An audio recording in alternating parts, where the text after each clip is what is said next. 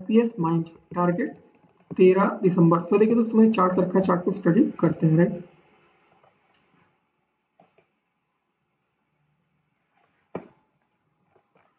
ये देखिए चार्ट को। तो देखिए, आज की डेट में क्लोजिंग हुई है वन टू नाइन थ्री पे। इसमें एक चीज़ ध्यान दीजिए, आज की डेट में क्या हुआ कि निफ्टी फिफ्टी जो है, एक फ्लैट क्लोजिंग हुई है। ना तो पॉजिटिव में क्लोज हुआ है, ना तो नेगेटिव में क्लोज हुआ है। अमेरिका देखिए पॉजिटिव में ही ओपनिंग हुई है अभी। यूरोप में देखिए लंदन नेगेटिव फ्रांस पॉजिटिव जो है जर्मनी नेगेटिव में क्लोज हुआ है।